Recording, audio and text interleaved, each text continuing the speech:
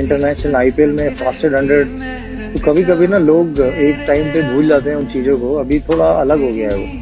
तो सबके दिल में एक पेन होता है, सारी चीज़ें होता है तो किसको एक्सप्रेस करें?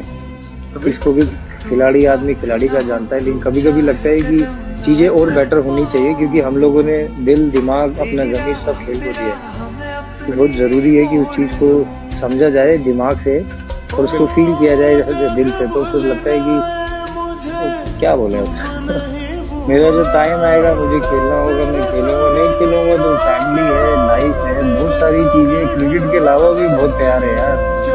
लेकिन जैसे तरीका है या वैसे है ना, हमारे देश में बहुत टैलेंटेड